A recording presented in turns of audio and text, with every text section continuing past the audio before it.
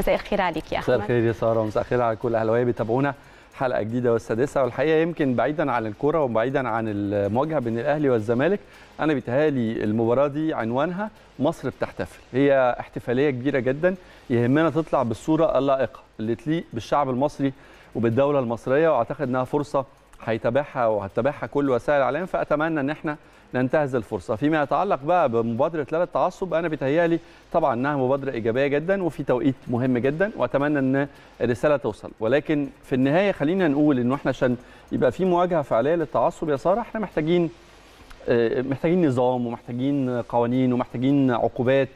في قاعدة بتقول من آمن العقاب أساء الأدب. أسائل. وبره على فكرة لو تبصي يمكن أوروبا مش عانت بس من التعصب يمكن أوروبا فترات طويلة جدا عانت من العنصرية.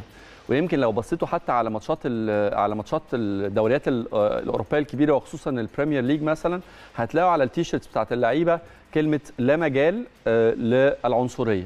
ده مش مجرد شعار بترفعه الأندية على تيشيرتات لاعيبتها بس لكن ده وراه لوائح وقوانين وعقوبات تلتزم بيها أو يلتزم بيها اتحاد الكرة في إنجلترا ويلتزم بيها إدارات الأندية وتلتزم بيها الأجهزة الفنية ويلتزم بيها اللعيبة وتنعكس على المنظومة بشكل كامل. أنا مش بلوم على الجمهور على فكرة لأن الحقيقة للأسف الشديد جدا لما بننزل لقواعد الجماهير ما أعتقدش إنه في حالة التعصب الكبيرة قوي اللي ممكن نقول إن إحنا عندنا أزمة أو مشكلة.